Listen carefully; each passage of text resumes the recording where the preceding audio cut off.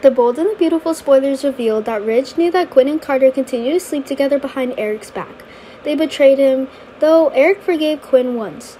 In a recent interview we matched, Kaye explained why Ridge doesn't blame Carter.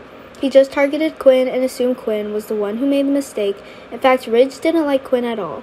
And in the past, Quinn was also the one who created all the trouble for Eric, so this is also the reason why Ridge thinks of Quinn as the one who made the mistake. Meanwhile, Ridge was, had smartly chosen Justin to spy on Quinn. He put his trust in the right place, and Justin quickly found out Quinn's secret. He immediately reported this to Ridge. Justin tells Ridge that he caught Quinn and Carter in bed together at Carter's home, and Ridge thinks Eric didn't know about it. And Ridge felt they were sneaking behind Eric's back, so when Ridge confronts Quinn, he's disgusted when she claims that Eric knows all about her ordeal with Carter. Speaking to Soap Opera Digest, Kaye discussed the issue of Ridge's character who was furious when he learned that Eric agreed to let Quinn and Carter sleep together while Quinn was his wife. Apparently, Ridge felt that Carter was supposed to have a romance with young women and that he was also single. He deserves as much more. Speaking of double standards, especially since Ridge has always seen Quinn as a thorn in their family. Ridge thinks that Quinn is the one who is the most wrong in this. Sure, Quinn was a married woman, she shouldn't have slept with anyone other than her husband. However, most fans know that Carter is no outsider. Carter also had a close relationship with Eric and was willing to participate in the arrangement, so he also has to pay for what he did too. Bad for Carter that betrayed Eric.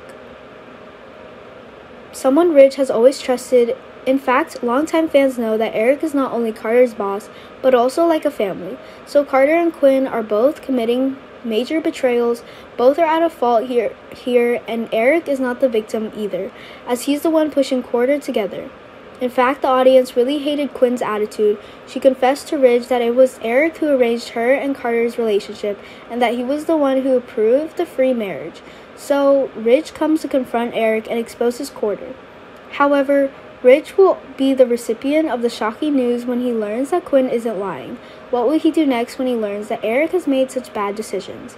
To our knowledge, Kaye explained to the magazine why Ridge defended Carter's conduct, and wanting to put all the blame on Quinn's head is because anger is not necessarily directed at Carter, he showed off his colors. He just slept with someone else who, bet- who happened to be someone else's wife. Quinn was the one who swore to Eric not to do this, and that's why when he saw these two together, he had reason to know that Quinn was a liar. What do you think about this new plot? Some viewers thought it was too absurd, making them unacceptable. Of course, we think that Carter should be in charge along with Quinn, who also teams up with Eric to sleep with the boss's wife. But according to the latest information updated, when everything was revealed, Carter decides to go public with his relationship with Quinn, claiming that he was in love with Quinn before. Will Eric accept this and will Ridge leave them alone?